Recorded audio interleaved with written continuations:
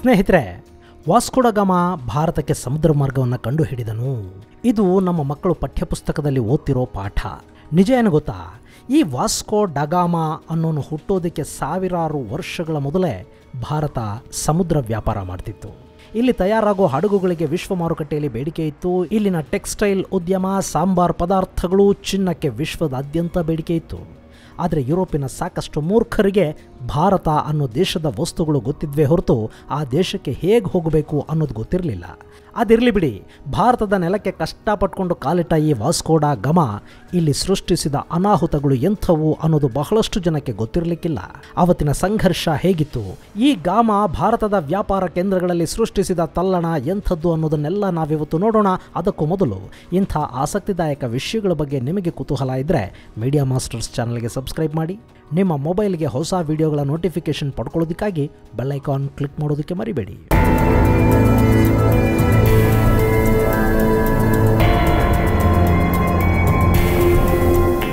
ಗೆಳೆಯರೇ, ಅದು ಸಾವಿರದ ನಾಲ್ಕುನೂರ ತೊಂಬತ್ತೆಂಟು.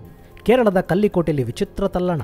ಅಷ್ಟು ದಿನ ಅರಬ್ಬರ ಹಡಗುಗಳನ್ನು ಕಂಡಿದ್ದ ಕಲ್ಲಿಕೋಟೆ ಜನ ಅವತ್ತು ಹೊಸ ಹಡಗುಗಳು ಹಾಗೂ ಹೊಸ ಜನರನ್ನು ಕಂಡು ಆಶ್ಚರ್ಯಕ್ಕೀಡಾಗಿದ್ದರು ಈ ವಿಚಾರ ಅವತ್ತಿನ ಕಲ್ಲಿಕೋಟೆಯ ಅರಸ ಸಮುತ್ತರಿಯ ಕಿವಿಗೆ ಬಿತ್ತು. ಇಷ್ಟಕ್ಕೂ ಅಲ್ಲಾಗಿದ್ದೇನು ಅಂದರೆ, ಕಲ್ಲಿಕೋಟೆಗೆ ಯುರೋಪಿನ ಮಂದಿಯ ಆಗಮನ ಆಗಿತ್ತು. ಅವರ ದೊಡ್ಡ ದೊಡ್ಡ ಹಡಗುಗಳು ಸಮುದ್ರದಲ್ಲಿ ಲಂಗರ್ ಹಾಕಿದ್ವು. ವಿಚಿತ್ರ ವೇಷಭೂಷಣಗಳು, ತಲೆ ಮೇಲೊಂದು ಟೋಪಿ, ಕಾಲಿಗೆ ಬೂಟು ಹಾಕ್ಕೊಂಡಿದ್ದ ವ್ಯಕ್ತಿಗಳನ್ನು ಕಂಡ ಕಲ್ಲಿಕೋಟೆಯ ಸೈನಿಕರು ಅವರನ್ನು ನೇರವಾಗಿ ರಾಜ ಸಮುತರಿ ಬಳಿ ಕರ್ಕೊಂಡು ಬರ್ತಾರೆ. ಅಲ್ಲಿಗೆ ಭಾರತವನ್ನು ಅರಸಿ ಬಂದಿದ್ದ ಯುರೋಪಿಯನ್ನರಿಗೆ ಎಲ್ಲಿಲ್ಲದ ಆನಂದ? ಇನ್ನು ಸಮುತರಿ ಕೂಡ ಅಲ್ಲಿಗೆ ಬಂದಿದ್ದವರನ್ನ ಯುರೋಪಿನಿಂದ ಬಂದಿರೋ ರಾಯಭಾರಿಗಳು ಅಂತಾನೆ ಅಂದ್ಕೊಂಡಿದ್ದ. ಹೀಗೆ ಅವತ್ತಿಗೆ ಅರಬ್ಬರ ಸಹಾಯ ಇಲ್ಲದೆ ಹೊಸದೊಂದು ಸಮುದ್ರ ಮಾರ್ಗದಲ್ಲಿ ಭಾರತವನ್ನು ತಲುಪಿದ್ದು ಪೋರ್ಚುಗೀಸ್ ನಾವಿಕ ವಾಸ್ಕೋ ಡಗಾಮಾನ ತಂಡ.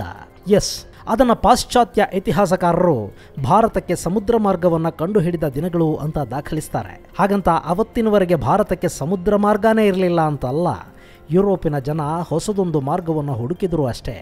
ಅದಕ್ಕೂ ಮುನ್ನ ಭಾರತ ಯುರೋಪಿನೊಂದಿಗೆ ವ್ಯಾಪಾರಗಳನ್ನು ನಡೆಸುತ್ತಿತ್ತು ಪಾಂಡ್ಯ ಮತ್ತು ಚೋಳ ಅರಸರ ಕಾಲದಲ್ಲೇ ಅಂದರೆ ಕ್ರಿಸ್ತ ಪೂರ್ವದಲ್ಲೇ ಭಾರತದ ಹಡಗುಗಳು ಯುರೋಪಿನ ಅಂದರೆ ಅವತ್ತಿನ ರೋಮ್ ಸಾಮ್ರಾಜ್ಯವನ್ನು ಮುಟ್ಟಿದ್ವು. ಹಾಗಾಗಿನೇ ಭಾರತಕ್ಕೆ ಸಮುದ್ರ ಮಾರ್ಗವನ್ನು ಕಂಡುಹಿಡಿದ ಶ್ರೇಯವನ್ನು ವಾಸ್ಕೋ ಡಗಾಮಾನಿಗೆ ಕೊಟ್ಟರೆ ಅದು ಖಂಡಿತ ಮೂರ್ಖತನವಾಗುತ್ತೆ. ಸರಿ, ವಾಸ್ಕೋ ಡಗಾಮ ಭಾರತಕ್ಕೆ ಬಂದ. ಕಲ್ಲಿಕೋಟೆ ಅರಸನೊಂದಿಗೆ ವ್ಯಾಪಾರ ಮಾಡ್ದ. ಆನಂತರ ಭಾರತದಿಂದ ಸಾಕಷ್ಟು ಸಾಂಬಾರು ಪದಾರ್ಥಗಳನ್ನು ತುಂಬಿಕೊಂಡು ಯುರೋಪಿಗೆ ಹೋದ. ಅದನ್ನು ಕಂಡ ಯುರೋಪಿನವರು ಒಬ್ಬರ ಹಿಂದೆ ಒಬ್ಬರಂತೆ ಭಾರತಕ್ಕೆ ದಾಂಗುಡಿ ಇಟ್ಟರು ಯುರೋಪಿನ ಐದು ದೇಶಗಳು ಭಾರತದಲ್ಲಿ ವ್ಯಾಪಾರಿ ವಸಾಹತುಗಳನ್ನು ಮಾಡಿಕೊಂಡ್ವು. ಆನಂತರ ಬ್ರಿಟಿಷರು ಎಲ್ಲರನ್ನ ಬಗ್ಗು ಬಡಿದು ಭಾರತದ ರಾಜರನ್ನು ಕೂಡ ಮಣಿಸಿ ಇಲ್ಲಿ ತಮ್ಮ ಆಧಿಪತ್ಯವನ್ನು ಸ್ಥಾಪಿಸಿದರು ಅನ್ನೋದನ್ನು ನಾವು ನಮ್ಮ ಪಠ್ಯ ಪುಸ್ತಕಗಳಲ್ಲಿ ಓದ್ತಾ ಬಂದಿದ್ದೀವಿ. ಆದರೆ ವಾಸ್ಕೋಡಾಗಾಮ ಭಾರತಕ್ಕೆ ಮೊದಲ ಬಾರಿ ಕಾಲಿಟ್ಟಾಗಲೇ ಇಲ್ಲೊಂದು ಸಂಘರ್ಷ ನಡೆದಿತ್ತು ಅನ್ನೋದು ಬಹಳಷ್ಟು ಜನಕ್ಕೆ ಗೊತ್ತಿಲ್ಲದ ವಿಷಯ. ಈ ಗಾಮ ಪೋರ್ಚುಗಲ್ನಿಂದ ಭಾರತಕ್ಕೆ ತಲುಪೋದಕ್ಕೆ ಸರಿಸುಮಾರು ಒಂದು ವರ್ಷಗಳ ಕಾಲ ಸಮಯ ತಗೊಂಡಿದ್ದ. ಕ್ರಿಸ್ತ ಶಕ ಸಾವಿರದ ನಾಲ್ಕುನೂರ ತೊಂಬತ್ತೇಳರ ಜುಲೈ ಎಂಟರಂದು ಪೋರ್ಚುಗಲ್ನ ಲಿಸ್ಬನ್ ತೀರ ಪ್ರದೇಶದಿಂದ ವಾಸ್ಕೋಡಗಾಮನ ಪ್ರಯಾಣ ಆರಂಭ ಆಗಿತ್ತು. ಸುಮಾರು ಎಪ್ಪತ್ತೆಂಬತ್ತು ಜನರ ತಂಡ ನಾಲ್ಕು ಹಡಗುಗಳಲ್ಲಿ ಭಾರತಕ್ಕೆ ಹಾದಿ ಹುಡುಕ್ತಾ ಹೊರಟಿತ್ತು. ಆ ತಂಡ ಉತ್ತರ ಅಟ್ಲಾಂಟಿಕ್ ಸಾಗರವನ್ನು ದಾಟಿ ಆಫ್ರಿಕಾದತ್ತ ಮುನ್ನಡೆದಿತ್ತು.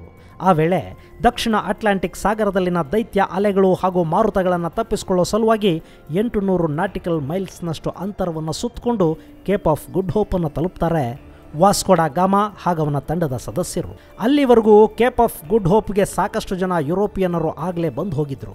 ಹೀಗಾಗಿ ಅಟ್ಲಾಂಟಿಕ್ ಸಾಗರದಲ್ಲಿನ ಏರಿಳಿತಗಳು ಆ ನಾವಿಕರಿಗೆ ಸಾಕಷ್ಟು ಪರಿಚಯ ಇದ್ವು. ಸೊ ಅಲ್ಲಿವರೆಗೂ ಈ ದಾರಿಯಲ್ಲಿ ಸಾಕಷ್ಟು ಜನ ಯುರೋಪಿಯನರು ಆಗಲೇ ಬಂದು ಹೋಗಿದ್ದರಿಂದ ಅಟ್ಲಾಂಟಿಕ್ ಸಾಗರದಲ್ಲಿನ ಏರಿಳಿತಗಳು ಆ ನಾವಿಕರಿಗೆ ಸಾಕಷ್ಟು ಪರಿಚಯ ಆಯಿತು. ಹೀಗಾಗಿನೇ ವಾಸ್ಕೋಡಾಗಾಮನ ತಂಡ ಯಾವ ಅಡೆತಡೆಗಳು ಇಲ್ಲದೆ ಕೇಪ್ ಆಫ್ ಗುಡ್ ಹೋಪ್ವರೆಗೆ ಬಂದು ತಲುಪಿತು.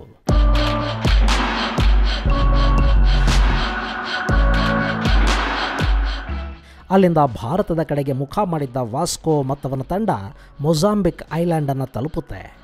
ಅದು ದಕ್ಷಿಣ ಆಫ್ರಿಕಾದ ಪ್ರದೇಶ.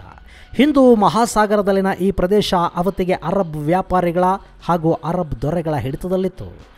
ಈ ಪ್ರದೇಶಕ್ಕೆ ಕಾಲಿಟ್ಟ ವಾಸ್ಕೋ ಡಗಾಮ ಅಲ್ಲಿನ ರಾಜನ ಜೊತೆ ವ್ಯವಹರಿಸೋದಕ್ಕೆ ಶುರು ಮಾಡ್ತಾನೆ. ಆದರೆ ಆ ದೊರೆ ಕೇಳಿದಷ್ಟು ಹಣವನ್ನು ಕೊಡೋದಕ್ಕೆ ಆಗದೇ ಇದ್ದಾಗ ಅಲ್ಲಿ ನಡೆದ ಗಲಭೆಗಳಲ್ಲಿ ಪೋರ್ಚುಗೀಸ್ ನಾವಿಕರು ತಮ್ಮ ಫಿರಂಗಿಗಳನ್ನು ಬಳಸಿ ಮೊಜಾಂಬಿಕ್ ನಗರದ ಮೇಲೆ ಆಕ್ರಮಣ ನಡೆಸುವ ಮೂಲಕ ವಾಸ್ಕೋ ಡಗಾಮನನ್ನು ಬಿಡಿಸ್ಕೊಂಡು ಬರ್ತಾರೆ. ಹೀಗೆ ತನ್ನ ನೌಕೆಯನ್ನು ಮತ್ತೆ ಸೇರಿಕೊಂಡ ಗಾಮ ಭಾರತದ ಹಾದಿ ಹಿಡಿತಾನೆ. ಮೊಜಾಂಬಿಕ್ನಿಂದ ತಪ್ಪಿಸಿಕೊಂಡು ಬಂದ ವಾಸ್ಕೋ ಡಗಾಮ ಇವತ್ತಿನ ಕೀನ್ಯಾದ ಮೊಂಬಾಸಾ ಪ್ರದೇಶವನ್ನು ತಲುಪಿದ್ದ. ಸಾವಿರದ ನಾಲ್ಕುನೂರ ತೊಂಬತ್ತೆಂಟರ ಏಪ್ರಿಲ್ ಏಳರಂದು ಮೊಂಬಾಸಾ ತಲುಪಿದ ಪೋರ್ಚುಗೀಸರು ಅಲ್ಲಿ ಅರಬ್ ವ್ಯಾಪಾರಿಗಳ ಹಡಗೊಂದನ್ನು ಲೂಟಿ ಮಾಡ್ತಾರೆ. ಸಾಮಾನ್ಯವಾಗಿ ಅರಬ್ ವ್ಯಾಪಾರಿಗಳು ತಮ್ಮ ಜೊತೆ ಶಸ್ತ್ರಾಸ್ತ್ರಗಳನ್ನು ಕೊಂಡೊಯ್ತಿರಲಿಲ್ಲ. ಹೀಗಾಗಿ ಸಾಕಷ್ಟು ಶಸ್ತ್ರಾಸ್ತ್ರ ಹಾಗೂ ಫಿರಂಗಿಗಳನ್ನು ಒಳಗೊಂಡಿದ್ದ ಪೋರ್ಚುಗೀಸರು ಅರಬ್ಬರನ್ನು ಅತ್ಯಂತ ಸುಲಭವಾಗಿ ಲೂಟಿ ಮಾಡೋದಕ್ಕೆ ಸಾಧ್ಯವಾಯಿತು.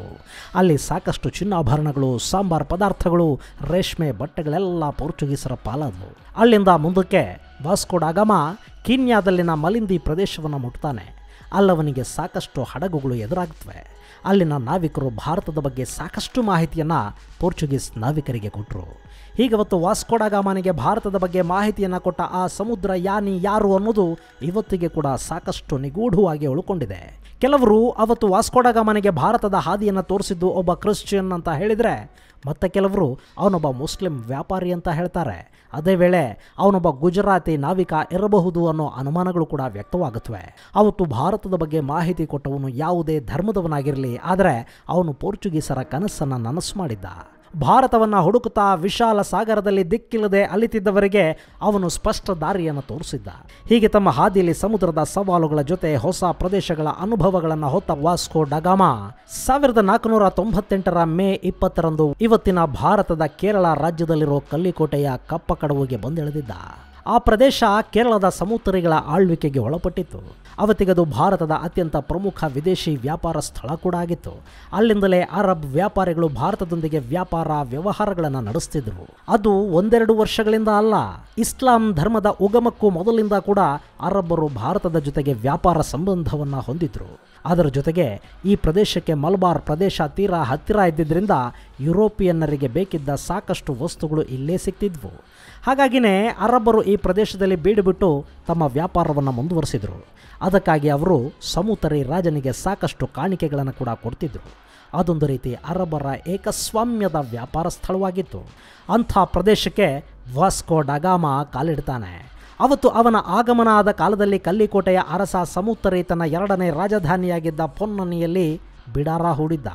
ತನ್ನ ಸಂಸ್ಥಾನಕ್ಕೆ ಪೋರ್ಚುಗೀಸರು ಬಂದಿಳಿದಿರೋ ವಿಚಾರ ತಿಳಿದ ಅವನು, ವಾಸ್ಕೋ ಡಗಾಮ ಮತ್ತು ಅವನ ತಂಡಕ್ಕೆ ಅಭೂತಪೂರ್ವ ಆತಿಥ್ಯವನ್ನು ಕೊಡ್ತಾನೆ. ಅರಸ ಸಮೂತರಿ ಕಡಲ ಕಿನಾರೆಯಲ್ಲಿ ಬಂದಿಳಿದವರನ್ನ ಪೋರ್ಚುಗಲ್ನ ರಾಯಭಾರಿಗಳು ಅಂತ ಭಾವಿಸಿದ್ದ. ಅದಕ್ಕೆ ತಕ್ಕಂತೆ ವಾಸ್ಕೋಡಗಾಮ ತನ್ನ ಹತ್ರ ಇದ್ದ ಉತ್ತಮ ವಸ್ತ್ರಗಳು, ಹವಳದ ಸರಗಳು, ಪೋರ್ಚುಗೀಸರು ಉಪಯೋಗಿಸ್ತಿದ್ದ ಟೋಪಿಗಳು ಹಾಗೂ ಮತ್ತಿತರ ವಸ್ತುಗಳನ್ನು ರಾಜ ಸಮೂತರಿಯ ಮುಂದಿಟ್ಟು ಅವನನ್ನು ಒಲಿಸ್ಕೊಳ್ಳೋದಕ್ಕೆ ಪ್ರಯತ್ನ ಪಡ್ತಾನೆ. ಆದರೆ ವಾಸ್ಕೋಡಗಾಮನ ಈ ಕಾಣಿಕೆ ಸಮುತರಿಯನ್ನು ಆಕರ್ಷಿಸೋದೇ ಇಲ್ಲ. ಯಾಕೆಂದರೆ ಅರಬ್ ವ್ಯಾಪಾರಿಗಳು ಪ್ರತಿ ಬಾರಿ ತಾವು ರಾಜನನ್ನು ಭೇಟಿ ಮಾಡಿದಾಗಲೂ ಚಿನ್ನಾಭರಣಗಳನ್ನು ಕಾಣಿಕೆಯಾಗಿ ಕೊಡೋದನ್ನು ರೂಢಿ ಮಾಡಿಕೊಂಡಿದ್ರು. ಹೀಗಾಗಿ ಅರಬರ ವೈಭವದ ಕಾಣಿಕೆಗಳ ಮುಂದೆ ಪೋರ್ಚುಗೀಸರ ಕಾಣಿಕೆಗಳು ನಗಣ್ಯ ಅನ್ನಿಸ್ಬಿಟ್ವು.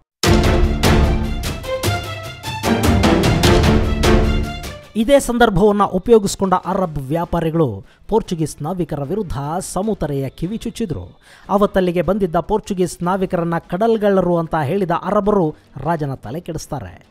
ಹೀಗಾಗಿ ಸಮುತರೇ ತನ್ನ ಸಂಸ್ಥಾನಕ್ಕೆ ಅನಧಿಕೃತವಾಗಿ ಪ್ರವೇಶ ಮಾಡಿರೋದ್ರಿಂದ ದಂಡ ಕಟ್ಟಬೇಕು ಅಂತ ಪೋರ್ಚುಗೀಸರಿಗೆ ಹೇಳಿ ಕಳುಹಿಸ್ತಾನೆ. ಈ ಬೆಳವಣಿಗೆ ಅರಬ್ಬರಿಗೆ ಖುಷಿ ಕೊಟ್ರೆ ಪೋರ್ಚುಗೀಸರನ್ನ ಕಂಗಾಲಾಗೋ ಹಾಗೆ ಮಾಡುತ್ತೆ. ಇಷ್ಟಾಗ್ತಿದ್ದ ಹಾಗೆ ವಾಸ್ಕೋಡಾಗಾಮನಿಗೆ ಇದು ಅರಬ್ಬರ ಕುತಂತ್ರ ಅಂತ ಗೊತ್ತಾಗೋಯ್ತು ಹೀಗಾಗಿ ಈ ವಿಪತ್ತಿನಿಂದ ಪಾರಾಗೋದಕ್ಕೆ ಅವನು ಮತ್ತೊಂದು ಕುತಂತ್ರವನ್ನ ರೂಪಿಸ್ತಾನೆ. ಎಸ್ ವಾಸ್ಕೋಡಗಾಮ ತನ್ನ ಜೊತೆಗಿದ್ದವರನ್ನೆಲ್ಲ ಒಟ್ಟುಗೂಡಿಸಿ ಕಲ್ಲಿಕೋಟೆಯ ಕೆಲ ಜನರನ್ನ ಅಪಹರಿಸಿ ತನ್ನ ಹಡಗುಗಳಲ್ಲಿ ತುಂಬಿಕೋತಾನೆ ಆ ನಂತರ ಸಮೂತರಿಯ ಜೊತೆ ಸಂಧಾನಕ್ಕೆ ಮುಂದಾಗ್ತಾನೆ.